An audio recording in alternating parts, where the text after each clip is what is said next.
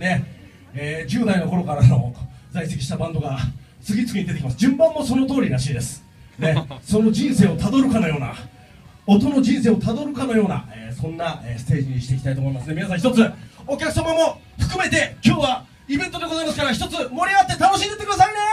はい。一番のジェシカというので今ね、えー準備してますけどすごいですね。もうロックの歴史みたいです1983年、えー、それから中学の同級生だったボーカルのコーチと、えー、これ字がすごいちっちゃいですね。えー、コージさん、コージさんですね、ボーカル言いますね、きっとね、えードラムの千春により、えー高校入学直前に結成、え2人でオリジナル曲9曲をレコーディング、ね、後にギターとベースが加入して4人編成となり、12月からライブ活動を開始、これね、16歳から19歳ぐらいの時の話らしいですね、えーすごい。歴史ですね。えーうんそれまでにない斬新なオリジナル曲とユニセクシャル的なビジュアルを千春さんが ユニセクシャル的なビジュアルだったわけですね。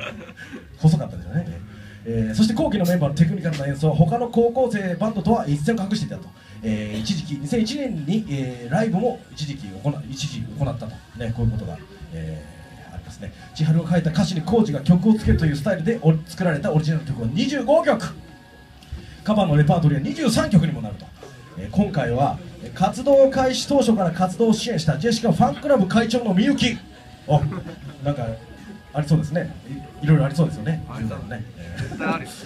いろいろありましたよね。この時代ですからね。絶対あった80 80年代何かあったでしょ何かあったでしょう会長のみゆき。対すいません失礼しましたえーえーが、えー、千春に代わりドラムを叩きました。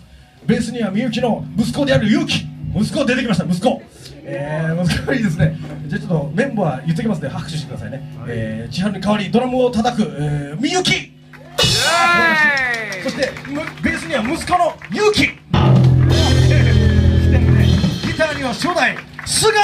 二代目片瀬素晴らしいですね。ドラムを叩きながら歌っていた千春のコーラスパート今日は上平。